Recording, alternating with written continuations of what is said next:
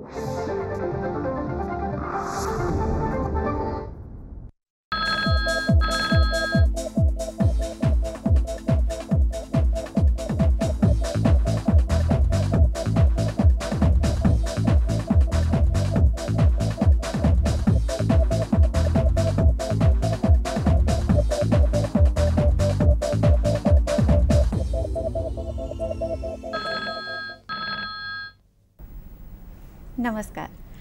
DD कार्यक्रम में सभी दर्शकों का हार्दिक स्वागत है।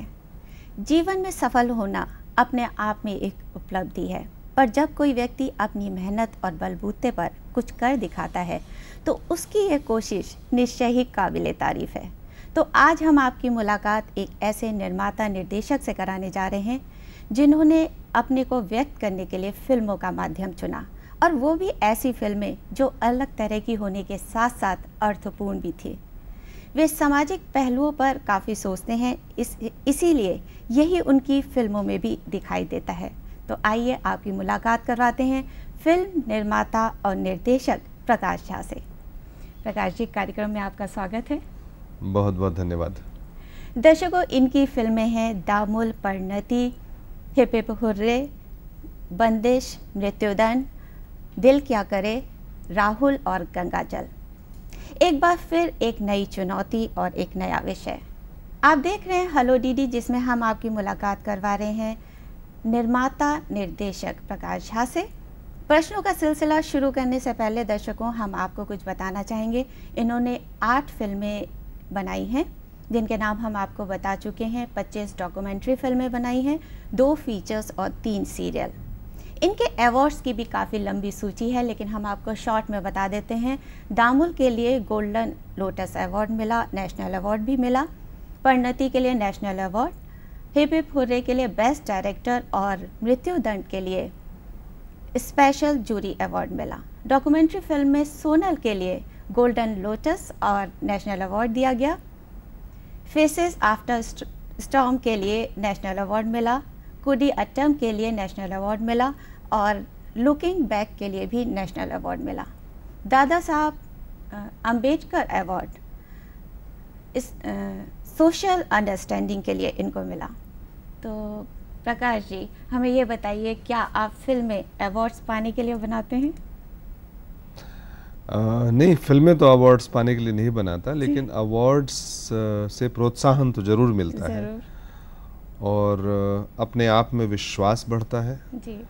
अपने काम में श्रद्धा और विश्वास होता है। जी। इसलिए अवार्ड्स का भी हमारे जीवन में अहम महत्व है। जी। लेकिन फ़िल्में बनाने की बात तो कम्युनिकेशन से जुड़ती है कि हम क्या कहना चाहते हैं। जी। और इस वजह से इस माध्यम का इस्तेमाल करते हैं। कोई गाता है कोई पेंटिंग करता है कोई लिखता है। हम फ़िल्में बनाते हैं। जी। बिहार के एक छोटे से गाँव से आपने अपनी यात्रा शुरू की है। आपने पढ़ाई की फिज़िक्स में बनना चाहते थे आप पेंटर लेकिन बने आप निर्माता निर्देशक। तो मुंबई में आना कैसे हुआ और फ़िल्मों में आपकी शुरुआत कैसे हुई? आपने मेरी लंबी चौड़ी ज़िंदगी को दो चार पंक्तियों में समेट लिया। जी। आ, क्योंकि हमारे पास इतना समय नहीं होगा कि हम आपकी इतने सालों की जो मेहनत है जो आपने किया है उसको पूरा यहाँ पर नहीं उसकी ज़रूरत भी नहीं जी। हम हाँ सही बात है मतलब मैं आर्मी स्कूल में था स्कूलिंग मेरी जो है मेरे पिताजी ने मुझे बोर्डिंग स्कूल में भेजा था। और पढ़ाई में आपका मन नहीं लगता था? पढ़ाई में कॉलेज जाते जाते जाते मुझे ऐसा लगा कि आ, मैं कुछ अलग से करना चाहता हूँ मैं अपनी ज़िंदगी जो है वो अलग से जीना चाहता हूँ। फिर पढ़ाई कॉलेज की छोड़ के फिज़िक्स छोड़ करके मैं बम्बई चला आया और बम्बई जे जे कॉलेज में स्कूल जो है पेंटिंग की उसकी तैयारी करने लगा। उसी बीच में मेरा इंटरेस्ट जो है वो फ़िल्मों में हो गया और मैं Poona film and television institute चला गया हाँ ये चर्चा हम जारी रखेंगे पहले फ़ोन ले लेते हैं मुंबई से विनायक का है। हेलो? हेलो हाँ जी बोलिए अपना तो सवाल। ये क्वेश्चन पूछना था जी। कि उनकी फ़िल्में वगैरह देख के तो ऐसा लगता है कि वो क्या नाटक के बैकग्राउंड से एनएसडी वगैरह के स्टूडेंट रह चुके हैं क्या वो? क्योंकि जो सोशल एलिमेंट की जो उनकी फ़िल्में रहती है एक अलग सा टच रहता है। तो बोलते ना कि नज़दीक तो और बोलते रियलिटी के काफ़ी करीब रहती है। तो क्या एनएसडी के स्टूडेंट रह चुके हैं वो यही पूछना था। मैं विनायक बोल रहा हूँ मलाड से।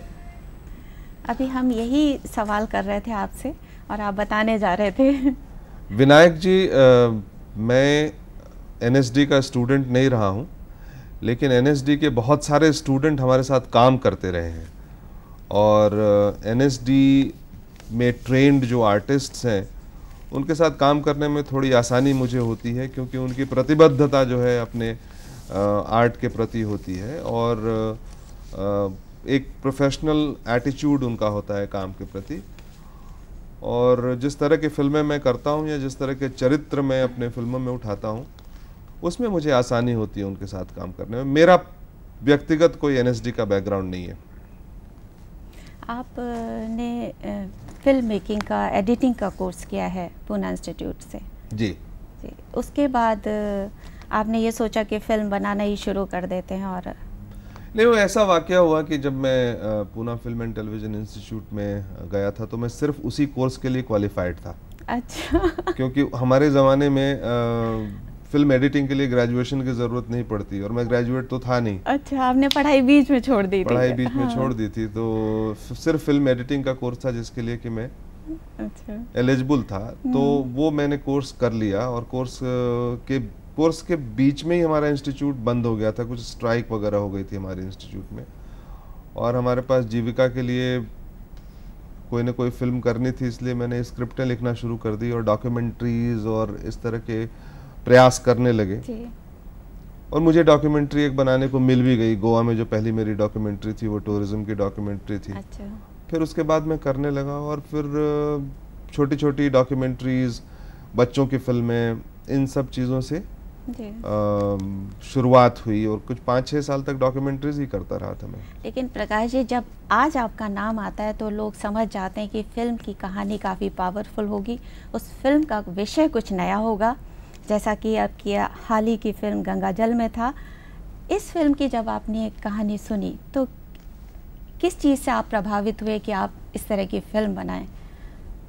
गंगा जल की कहानी मैंने सुनी नहीं थी। हम्म। करीब 12-13 साल पहले जब दामुल मैंने अपनी फ़िल्म बनाई थी तो ऐसा हुआ था कि लखनऊ में उस वक्त चतुर्वेदी साहब एक थे डायरेक्टर जनरल ऑफ़ पुलिस उन्होंने मुझे इनवाइट किया था। अच्छा। पुलिस वालों को उत्तर प्रदेश के पुलिस वालों को दामुल फ़िल्म दिखाने की अच्छा। निमंत्रण जो है उन्होंने दिया था। हम्म।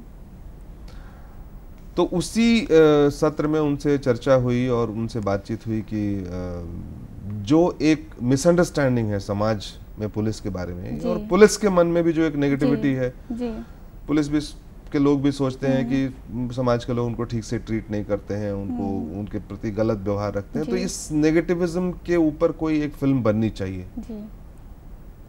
और तभी से ये विचार और ये काम इस सब्जेक्ट के ऊपर में मुझे काफ़ी उन्होंने अपने फाइल्स वगैरह भेज दिए किस तरह से एनकाउंटर्स वगैरह की बात की और पुलिस की हाँ। हम्म।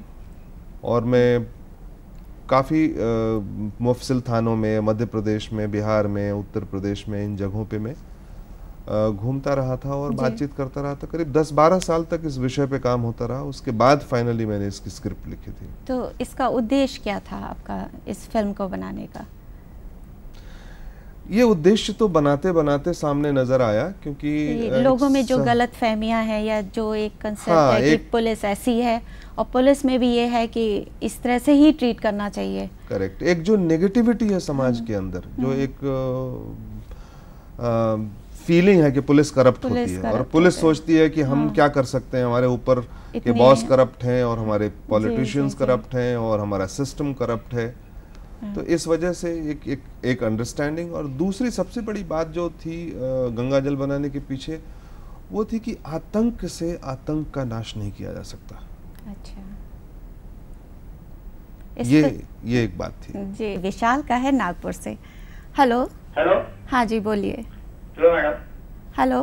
मैं विशाल बोल रहा हूँ नागपुर से। हाँ जी सवाल कीजिए। नमस्कार प्रकाश जी। नमस्कार। सर मैं आपका बहुत बड़ा फ़ैन हूँ। मैंने हाल ही में गंगा जल देखी। जी। बहुत अच्छी लगी। धन्यवाद। मेरा आपको सवाल है सर कि क्या आजकल जो अभिनय अभिनेताओं द्वारा अभिनय किया जाने आ, किया जा रहा है क्या अभिनय वो अभिनय सच में अभिनय है या और कुछ है? अभिनय अभिनय तो अभिनय ही होता है। आप शायद ऐसी बात करना चाहते हैं कि आ, इतना रियलिटी कैसे आ जाती है शायद? ऐसी रियलिटी हाँ। कैसे आ जाती है ऐसा? देखिए मेरे हिसाब से सबसे अच्छा अभिनय वो होता है जहाँ अभिनय नहीं किया जाता। थोड़ी सी क्लिष्ट बात है समझने वाली बहुत गहराई की बात है ये। क्योंकि जब हम अभिनय करने की प्रक्रिया हमारी जो है वो दिख जाती है अगर पर्दे पे या हमारे क्रियाकलाप में तो वो अभिनय खराब होता है। तो नेचुरली है जो वास्तविक कैरेक्टर्स हैं। जैसे कि अजय देवगन ने आ, इस फ़िल्म के अंदर में एक एसपी का रोल किया था। तो उसकी जो बॉडी लैंग्वेज है या उस जिस तरह से वो अपने आप को कन्विंस करता है कि मैं आ, एक पुलिस ऑफिसर ही हूँ तो इसकी स्टडी करनी पड़ती है और इसको देखना पड़ता है और अपने आप को उसमें ढालना पड़ता है। और बाकी सहजता से उस पात्र को निभा जाना ये सबसे बड़ी बात है।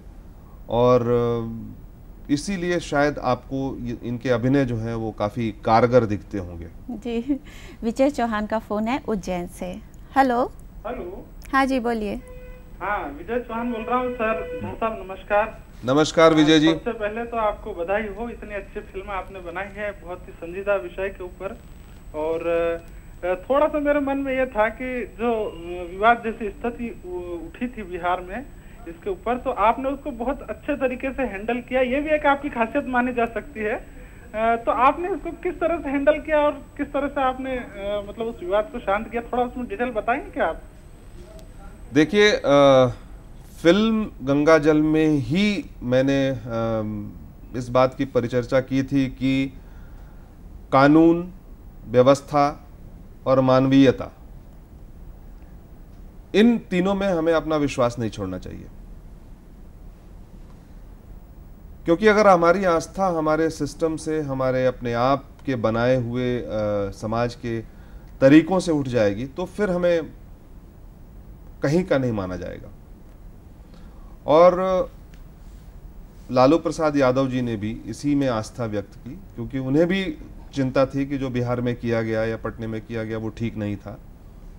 उन्होंने मुझे पूरी तरह से आश्वस्त किया था कि बिहार में और कहीं भी इस फ़िल्म के प्रदर्शन में कोई दिक्कत नहीं आएगी और पटने की भी जो समस्या है वो सॉल्व कर ली जाएगी और मुझे चिंता करने की ज़रूरत नहीं थी। इस वजह से मैं आश्वस्त था। मैं वहाँ गया भी और सबों से मिल करके बातचीत करके और आपको बताऊँ कि बिहार में फ़िल्म अभी भी चल रही है और अभी भी अच्छी चल रही है और कहीं से किसी तरह की कोई अव्यवस्था या कुव्यवस्था की खबर जो है वो नहीं आई है। मैं आ, विश्वास रखता हूँ कि अंत में जीत सही और सच की होती है। जैसा कि आज के दिन दशहरे पर ऐसा माना जाता है कि सच की ही विजय होती है। धर्म की विजय होती है अधर्म की विजय नहीं होती है। नीति जी सिर्फ़ आज के दिन नहीं हमेशा सच की जीत होती है। क्योंकि आज दशहरा इसलिए मुझे याद आ गई ये बात भी जो हम सदियों से सुनते आए और होता रहा है चलिए इस इस विश्वास में हम अपना आज विश्वास बढ़ाते हैं। बढ़ाते हैं।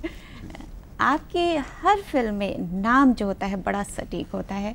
चाहे आप दामुल ले लीजिए परिणति ले लीजिए मृत्युदंड ले लीजिए और फिर गंगा जल गंगा जल का इस फ़िल्म में क्या सेंस है? अब तो पूरे हिंदुस्तान के दर्शकों को पता चल चुका है कि गंगा जल का क्या अर्थ है इस फ़िल्म में। जी। आ, गंगा जल आ, को हमने बहुत मेटाफोरिकली इस्तेमाल किया था इस फ़िल्म के अंदर में। एक अस्त्र की तरह इस्तेमाल किया था। और भागलपुर में जहाँ की ये ब्लाइंडिंग्स की गई थी और जिस तेजाब का इस्तेमाल करते थे वो लोग ब्लाइंडिंग अच्छा। आँख में डालने के लिए हम्म। उस तेजाब को वो लोग मेटाफोरिकली क्योंकि वो चाहते थे समाज को पवित्र कर देना और उस पवित्रता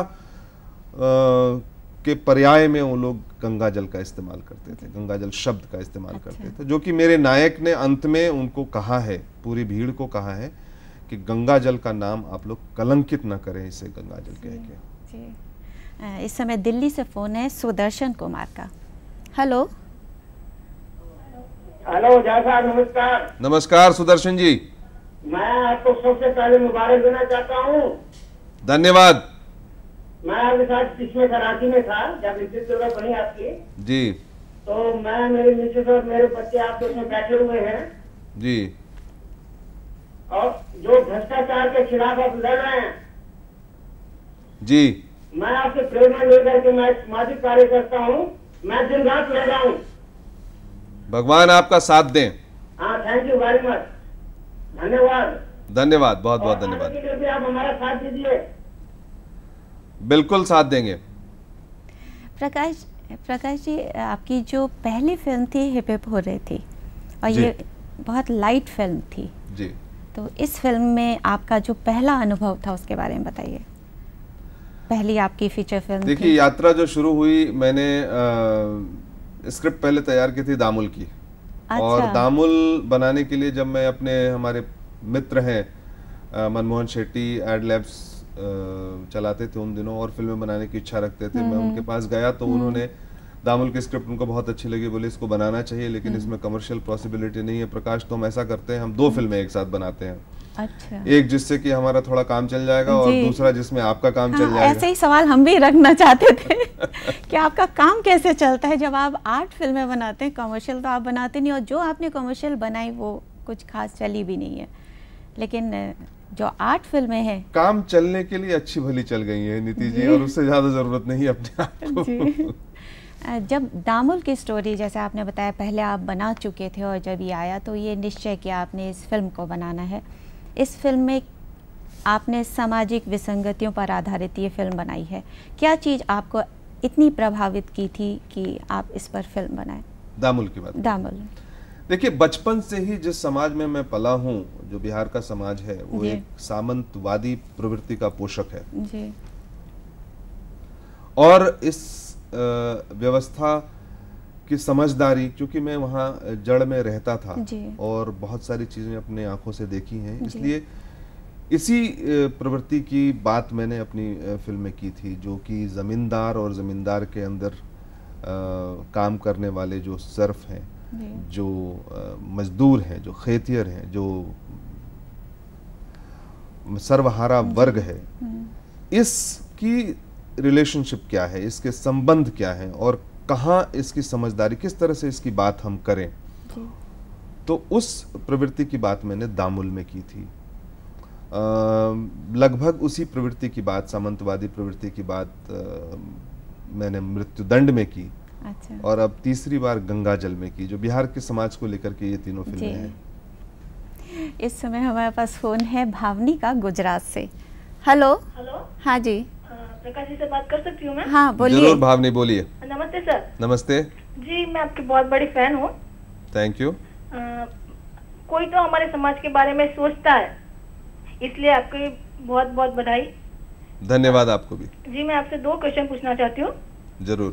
पहला आपका मनपसंद लेखक कौन है? और दूसरा स्क्रिप्ट राइटिंग स्टोरी और स्क्रीन प्ले इन तीन में डिफरेंस क्या है? इसके बारे में अच्छे से जानकारी दीजिए ताकि हम समझ पाए। हम हर बार नाम पढ़ते हैं लेकिन पता नहीं चलता ये क्या होता है। अच्छा जी? अच्छा। Hello good hello sir. मेरा मनपसंद लेखक कोई एक है अ, बहुत सारे लेखक हैं जिनके किताबें जैसे शरद चंद्र जी थे और आचार्य चतुर्सेन जी थे और प्रेमचंद जी थे। इन लोगों की जिन लोगों के लेखनी में एक एक एक टोटलिटी एक कंस्ट्रक्शन होती है सीन्स की कैरेक्टर्स की वो मुझे अच्छे लगते हैं। आपने तीन चीज़ें पूछी स्टोरी स्क्रिप्ट और स्क्रीन प्ले के बीच में अंतर क्या है? अ, कहानी जो होती है वो मूलतः जो ड्रामेटिक प्रोग्रेशन नाटकीय प्रोग्रेशन जो होता है, उसकी चर्चा करती है। स्क्रिप्ट जो होती है, उस स्क्रिप्ट में कहानी और कहानी के साथ में, पात्र और पात्र के साथ में जो लोकेशन होता है, उन तीनों की चर्चा होती है। और स्क्रीन प्ले जो होता है, वो होता है जिसमें कि ये कहानी और ये स्क्रिप्ट पर्दे पर किस तरह से आएगी? किस हिसाब से इसकी एडिटिंग होगी और किस हिसाब से एक के बाद एक दृश्य आएगा और किस तरह से एक के बाद एक पात्र जो है वो डायलॉग बोलेंगे या वो जो एक्शन करेंगे, जो उनके रिएक्शंस होंगे, उन सारी चीज़ों की चर्चा मतलब आप ये समझिए कि जो आप पर्दे पे देखते हैं, उसको कागज़ पे लिखा जाए, उसको स्क्रीन प्ले कहते हैं। मैं इस छोटे से प्रोग्राम में बहुत लंबी चौड़ी बात तो नहीं कर सकता लेकिन मैं समझता हूँ कि जिस तरह से मैंने समझाया आपको बात समझ में आई हो बिल्कुल समझ में आ गई है। और इस अगला फ़ोन है गगन का रांची से। हेलो? हेलो? गगन जी आप हैं?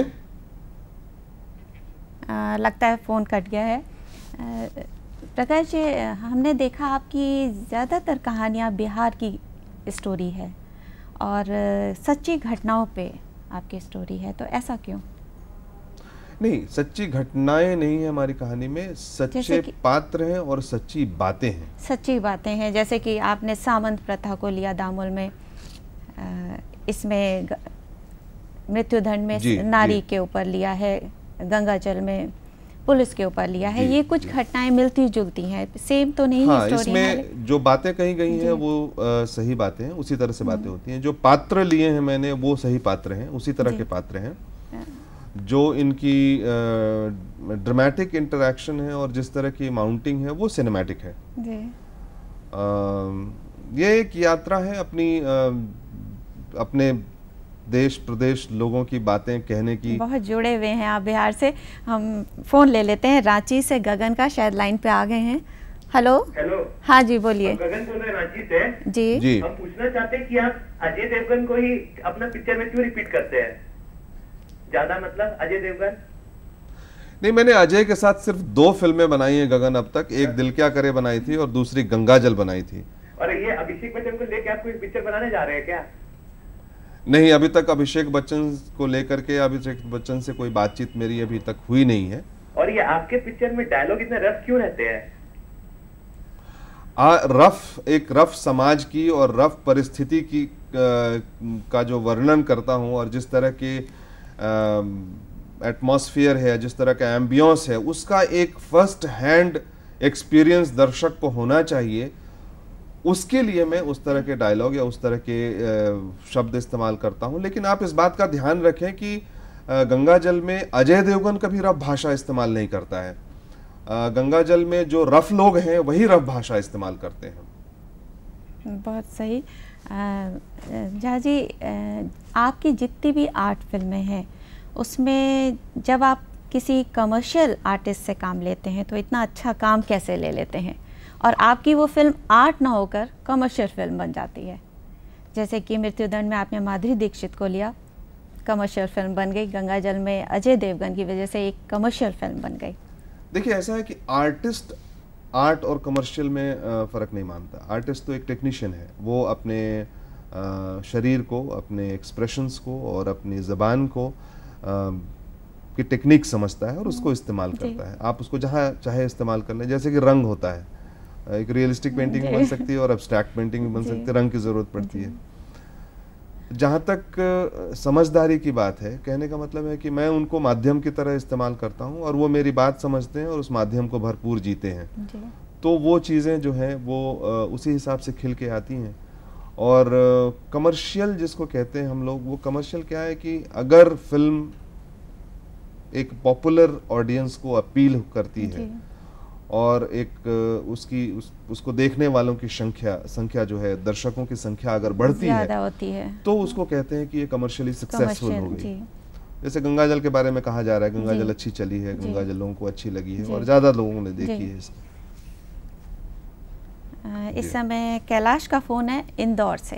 हेलो। हेलो। हाँ जी कैलाश जी। सर नमस्ते। नमस्ते। सर पहले तो मैं आपको बहुत बहुत बधाई देता हूँ कि गंगा जल गंगा जल जैसी आपने फ़िल्म बनाई है। जी। ये फ़िल्म मैं करीबन तीन चार बार देख चुका हूँ तो भी इन्हें फ़िल्म देखने से पेट नहीं भरता है एक एक, एक जो जिस तरह से एक्टरों ने इसका जो अभिनय किया है वो बहुत ही बढ़िया एक्टिंग किया है। और सेकंड ऑप्शन में आपसे ये पूछना चाहता हूँ कि आने वाली फ़िल्में कौन कौन सी रहेंगी आप इस बार आपकी? हैं पहले तो मैं आपका धन्यवाद कर दूँ और आपके गंगा जल के चरित्रों की जो आपने बड़ाई की है मैं आपको सिर्फ़ इतना कहना चाहता हूँ कि गंगा जल में जितने एक्टरों ने काम किया है सबने बहुत मेहनत और लगन से काम किया। खासकर तो तो है है बहुत बहुत धन्यवाद आपका। और इसके बाद जो मेरी फ़िल्म आने वाली है और जिस फ़िल्म के ऊपर मैं काम कर रहा हूँ उसका टाइटल है राजनीति।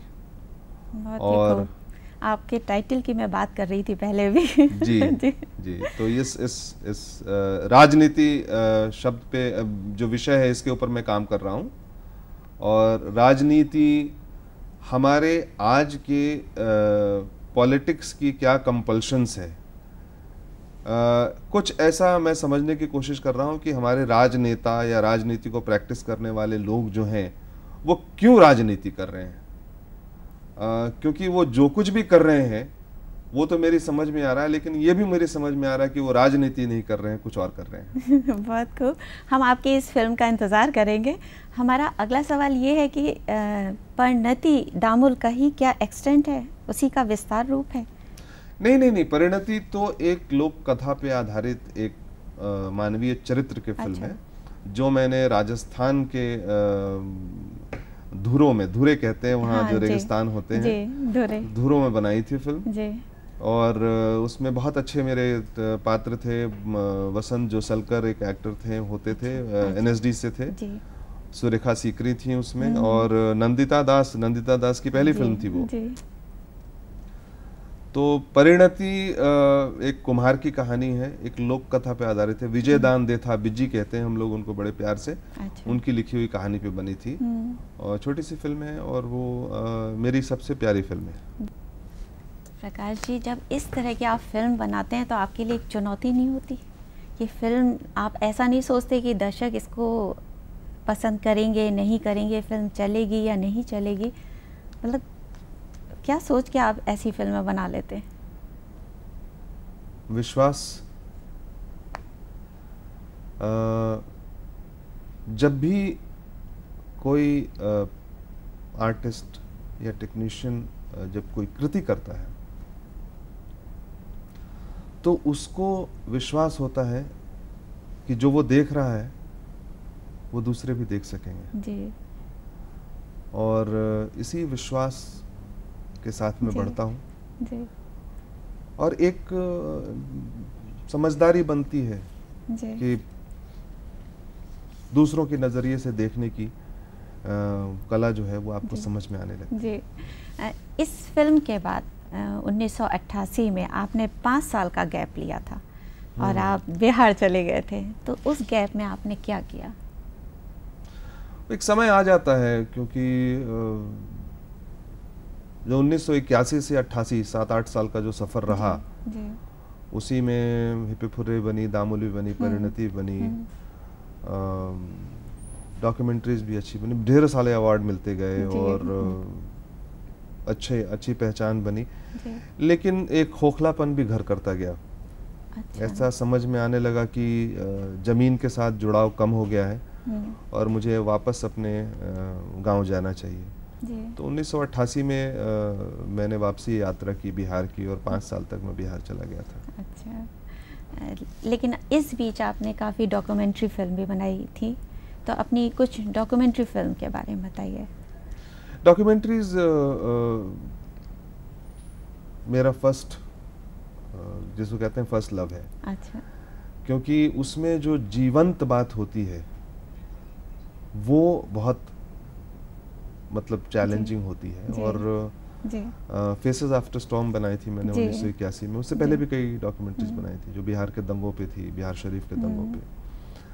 आ, अभी हाल में पिछले साल भी सोनल बनाई थी और अभी भी फिर बना रहा हूँ मैं। एक लंबी डॉक्यूमेंट्री बना रहा हूँ अच्छा। जेपी के ऊपर में जयप्रकाश अच्छा। नारायण के ऊपर अच्छा।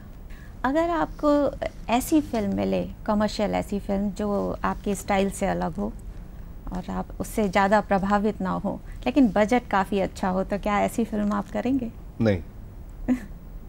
बिल्कुल नहीं। आ, जब तक कहने की सुनने की कोई बात नहीं हो आ, तब तक मैं शायद अपना मन उसमें नहीं लगा पाऊँगा। नहीं लगा पाएँगे।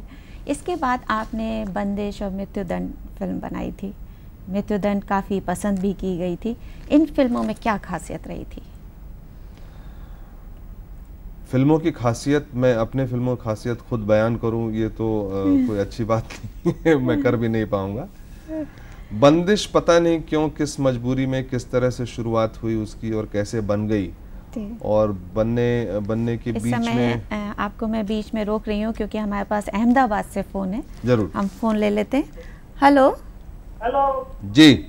हाँ, हाँ, दिलीप दिलीप जी बोलिए। दिलीप जी बोलिए। नमस्कार प्रकाश जी। नमस्कार।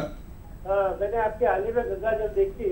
जी। हाँ मैंने आपकी हाल ही में गंगा जल देखी आप ये मूवी बहुत ही इंटेलेक्चुअल थी और इंटेलेक्चुअल क्लास के लिए ही बनाई गई थी।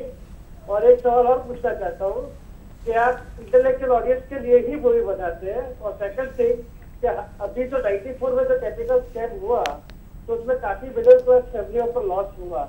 तो मैं मानता हूँ कि you are the only fit person to make movie on that subject और आपको अगर इसमें इंफॉर्मेशन चाहिए तो I can provide on that अच्छी बात की है आपने, दिलीप जी। जो स्कैम हुआ था उसके बारे में क्योंकि उस दिशा में मेरी उतनी अभिरुचि अभी तक नहीं रही है, लेकिन मैं ज़रूर इसके बारे में सोचूँगा। और जो पहली बात आपने कही मेरी कोशिश पूरी होती है कि मैं फ़िल्म जब बनाऊँ तो एक आम दर्शक को ज़रूर ध्यान में रखूँ। बातें उसमें कुछ इंटेलेक्चुअल हो जाती हैं बातें उसमें कुछ आ, समझने और ओपिनियन मेकर्स के बारे में होती हैं। लेकिन मेरी पूरी कोशिश रहती है कि उसकी भाषा जो है वो आसान रहे और आम आदमी भी उसको समझ सके। जैसा आप बता रहे थे बंदिश और मृत्युदंड फ़िल्म के बारे में। हाँ तो मृत्युदंड का जहाँ तक सवाल है मृत्युदंड में भी वही बात है वही जो सामंतवादी प्रवृत्ति है हमारे समाज की। अब उसमें देखिए जैसे कि मुक्त बाज़ार जब हमारे देश में हुआ और बहुत सारे जाति उथल पुथल हुए हम्म, मंडल कमीशन आया और हम्म। हमारे बहुत सारे आइडियोलॉजीज नए आए उस बीच में एक नए तरह का सामंतवादी समाज पैदा हुआ। जिसमें कि रिलीजियस फंडामेंटलिज्म था या जिसमें कि कॉन्ट्रैक्ट करने वाला कॉन्ट्रैक्टर जो है वो एक नया सामंतवादी हम्म। हुआ। जिसमें कि गाँव के लेवल पे ट्रेडर जो था और जातीय समीकरण होने के बाद नए तरह की प्रवृत्तियाँ पैदा हुई। तो मृत्युदंड में औरतें ज़रूर हैं उनकी कहानी ज़रूर है लेकिन मूलतः यह कहानी जो है वो आ, हमारे समाज के सामंतवादी प्रवृत्ति के बारे में है। इसमें नारी को काफ़ी सशक्त भूमिका में दिखाया था काफ़ी स्ट्रांग दिखाया था जी। अपने लड़ाई लड़ते हुए अपने जी। Prakash ji international film festival में आपकी फ़िल्में काफ़ी गई हैं और वहाँ और भी आप दूसरी फ़िल्में देखते होंगे। तो आप अपनी फ़िल्में या कहना चाहिए भारतीय फ़िल्मों को किस स्तर पर पाते हैं? उनमें क्या कोई कमी होती है या हमारी फ़िल्में भी काफ़ी अच्छी होती हैं? नहीं हमारी फ़िल्में काफ़ी अच्छी होती हैं। हमारे यहाँ हिंदी सिनेमा जो है वो आ, आ, मुझे लगता है कि आ, एक एक एक जिस सटीकता के साथ बनना चाहिए वो नहीं बनता आमतौर पे।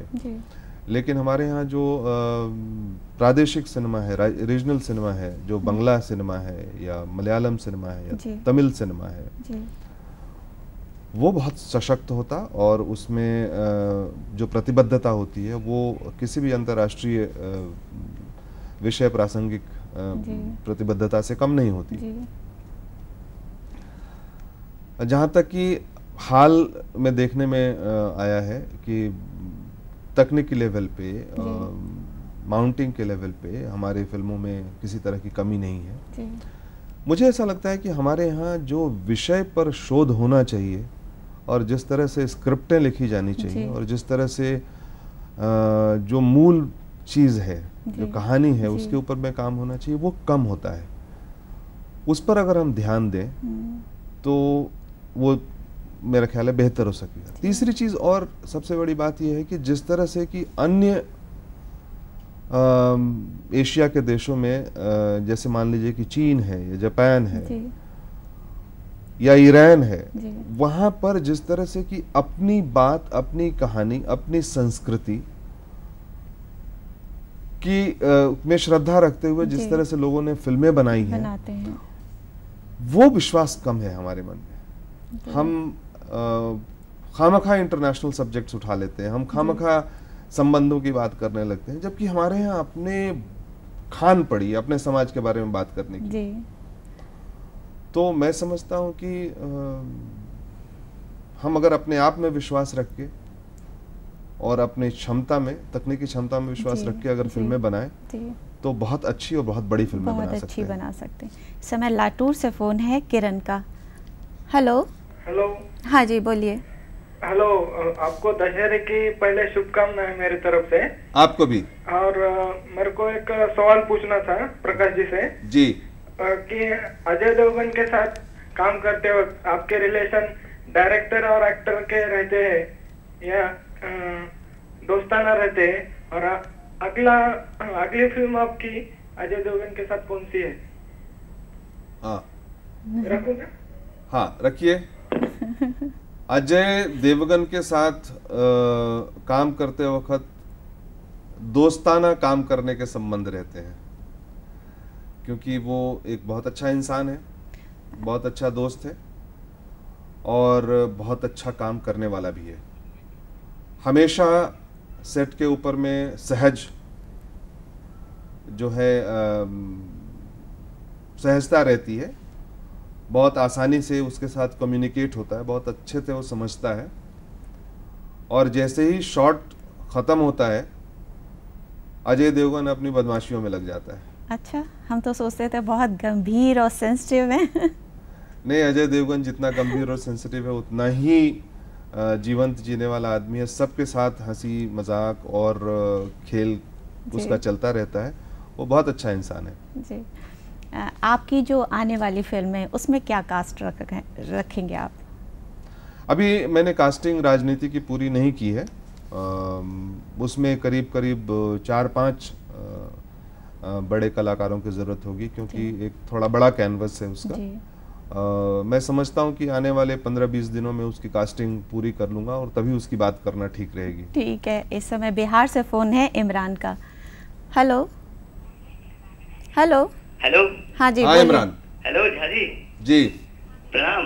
प्रणाम। आपका हाल चाल ठीक है ना? मुझे हाँ। आपसे एक सवाल करनी है। हम्म, हम्म। सवाल करनी है। हाँ बोलिए सवाल कीजिए। बनाते वक्त आप किन बुनियादी बातों का ध्यान रखते हैं? सबसे बड़ी बुनियादी बात फ़िल्म बनाते वक्त जो होती है वो होती है विषय की। विषय के बाद पात्रों की। और पात्रों के बाद लोकेशन और किस तरह से उसको, किस शैली में उसको फिल्माया जाए उसकी। और इन सारी बुनियादी बातों के बाद जो कहानी होती है स्क्रीन प्ले होता है और जो नाटक होता है, उसकी बात करते हैं। प्रकाश जी, आज टेक्निकली हमारे पास बहुत कुछ है। अब वो पहले वाला समय नहीं रहा है, काफ़ी कुछ डेवलप हो गया है। तो डायरेक्शन कितना क्रिएटिव और कितना टेक्निकली है? फ़िल्म डायरेक्शन जो होता है उसमें तकनीक का ज्ञान होना बहुत ज़रूरी है क्योंकि आपको हर क्रिएटिव स्टेप के लिए जी। तकनीक का इस्तेमाल करना पड़ता है। जी। आप एक शॉट पूरा करते हैं उसके बाद कैमरामैन आपके पास आता है और कहता है कि कैमरा कहाँ रखूँ अगले शॉट तो आपको अगर तकनीक का ज्ञान नहीं होगा एडिटिंग का ज्ञान नहीं होगा आपके इमेज साइज़ का ज्ञान नहीं होगा आपको अपने मूवमेंट का ज्ञान नहीं होगा तो आप उसे नहीं बता सकते हैं। तो जो एक फ्लुएंसी आती है एक जो बहाव आता है एक सीन के अंदर में उसके एक एक कदम के लिए। क्योंकि जब आप एक शॉट लेते हैं उस वक्त करीब करीब 16-17 डिपार्टमेंट लगे रहते हैं। जी। एक्टर है मेकअप है सेट है कॉस्ट्यूम है लाइटिंग है साउंड है। सारे लोग लगे रहते हैं और सबों के सम्मेलन से ही एक शॉट पूरा होता है। तो इनकी आ, भाषा समझना इनकी बात समझना ये निर्देशक के लिए बहुत ज़रूरी होता है। इसलिए एक क्रिएटिविटी जो कि मूल चीज़ है क्रिएटिविटी को रूपांतरित करने के लिए ट्रांसलेट करने के लिए टेक्निक का ज्ञान होना बहुत ज़रूरी है।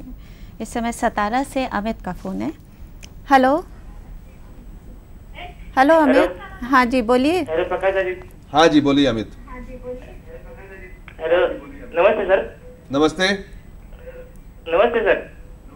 मैंने आपकी फ़िल्म गंगाजल है ना, उसकी शूटिंग सतारा में देखी थी। तो मेरे को सवाल ये था कि आपने गंगाजल लोकेशन क्यों चुना? देखिए गंगा जल के लिए वाई और सतारा का लोकेशन जो है वो सूट करता था, क्योंकि जिस तरह से हम उन लोकेशंस को परिवर्तित कर पाए, एक उत्तरी भारत के लोकेशन के रूप में, वो और वहाँ जिस तरह से कोऑपरेशन मुझे लोगों की मिली और जितना प्यार मुझे वाई और सतारा के लोगों से मिला, उन सारी चीज़ों के मद्देनज़र हमने वहाँ का लोकेशन चुना था। प्रकाश जी, आपकी दो फ़िल्में दिल क्या करे और राहुल को भी हम नज़रअंदाज नहीं कर सकते, ये कुछ अलग टाइप की हल्की फुल्की फ़िल्में थी। इन फ़िल्मों के बारे में बताइए। नहीं दिल क्या करे उतनी हल्की फुल्की फ़िल्म नहीं थी। दिल क्या करे एक एक, एक व्यक्तिगत संबंधों के बारे में फ़िल्म थी। एक आ, जो अनुभव मुझे व्यक्तिगत जीवन में हुआ था क्योंकि मेरे आ, मेरी बेटी है आ, एक दिशा। अच्छा। और दिशा को मैंने अडॉप्ट किया था आ, अच्छा। अब पंद्रह साल की हो गई है वो। अच्छा।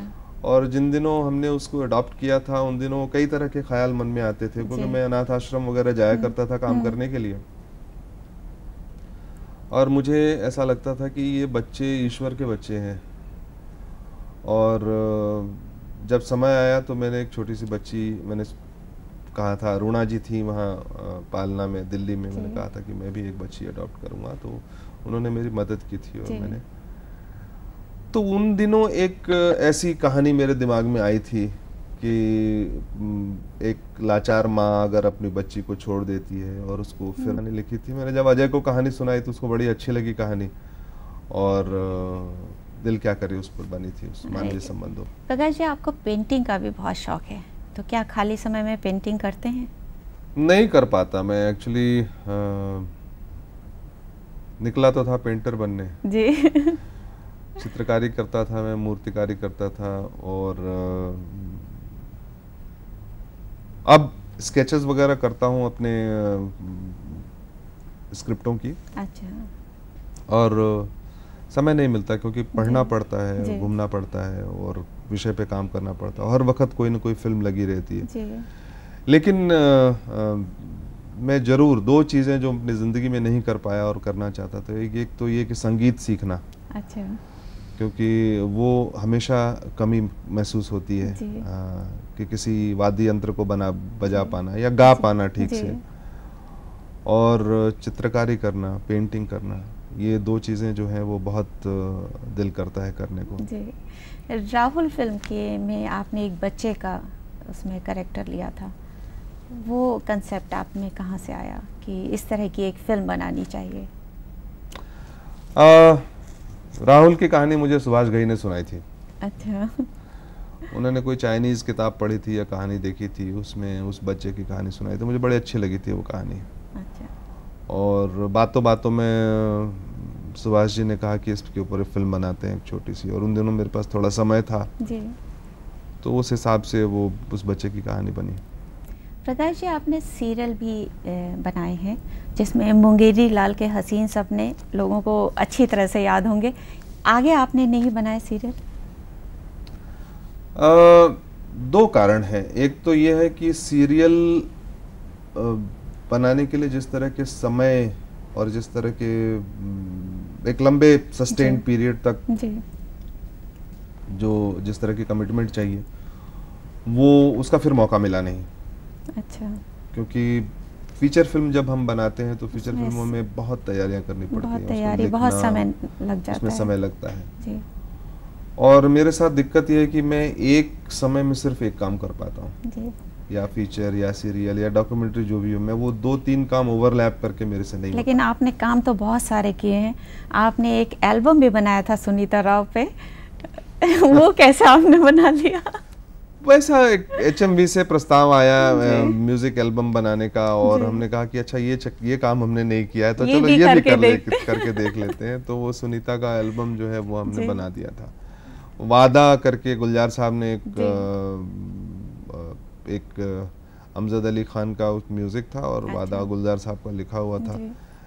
गाना वो एल्बम भी मैंने किया था तो दोनों एक साथ में ही कर दिया था हम राजस्थान जाके शूट करके चले आए थे। मज़ा आया था उसमें। प्रकाश जी आपसे बात करके बहुत अच्छा लगा। हमारी तरफ़ से और दूरदर्शन की तरफ़ से आपको बहुत बहुत शुभकामनाएँ और आपकी अगली फ़िल्म के लिए भी बहुत सी शुभकामनाएँ। आपको बहुत बहुत धन्यवाद। मुझे भी बहुत अच्छा लगा यहाँ के और दूरदर्शन हमेशा की तरफ़ फले फूले बढ़े अच्छा हो। और लोग उसको उसी तरह से प्यार करते रहें। आज विषय विजयादशमी के अवसर पर मेरी इन्हीं शुभकामनाओं के साथ बहुत बहुत धन्यवाद थैंक यू सो मच